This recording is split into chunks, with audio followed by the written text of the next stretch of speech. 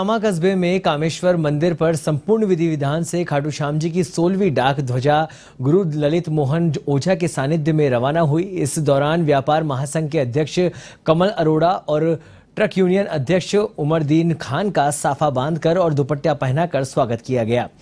वहीं इस मौके पर हारे का सहारा बाबू खाटू श्याम हमारा के जयकारों के संपूर्ण वातावरण गुंजायमान उठा डाक ध्वजा का गाँव अरावली पहुँचने पर ट्रक यूनियन अध्यक्ष उमरदीन खान ने जलपान के साथ सभी युवाओं के साथ स्वागत सम्मान का कार्यक्रम रखा। वहीं बता दें कि डाक ध्वजा में युवाओं में खासा उत्साह देखने को मिल रहा है।